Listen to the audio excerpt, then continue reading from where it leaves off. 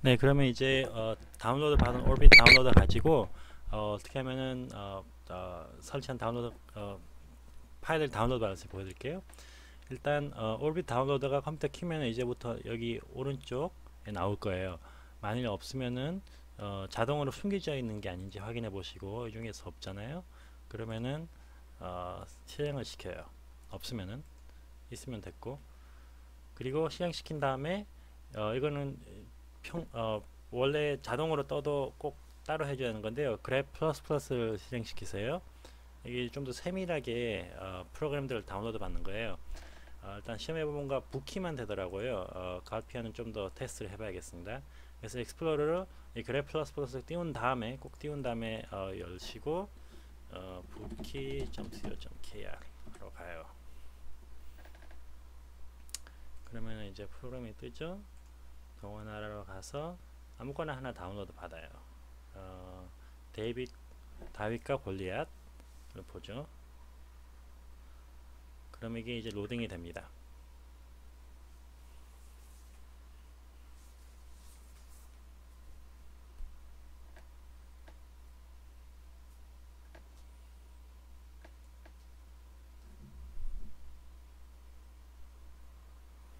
잠시 기다렸다가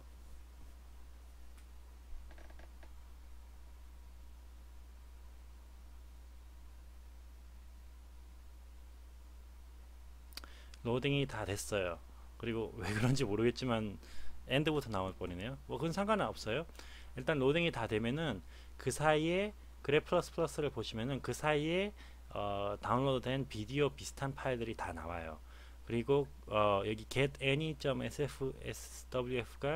어, 그 파일입니다. 제가 이것저것 눌러봤는데 이게 맞아요. 그래서 이거를 클릭하시고 다운로드 누르면은 이렇게 이제 다운로드 확인 창이 뜹니다.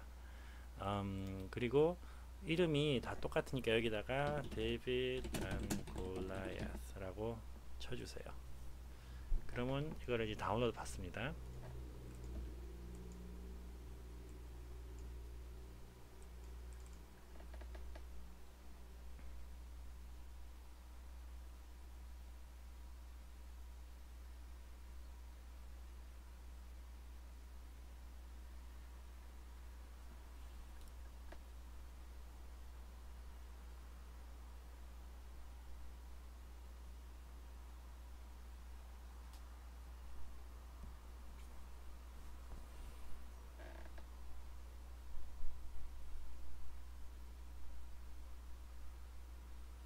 그리고 다운로드 받은 다음에는 곰플레이어를 열 수가 있어요.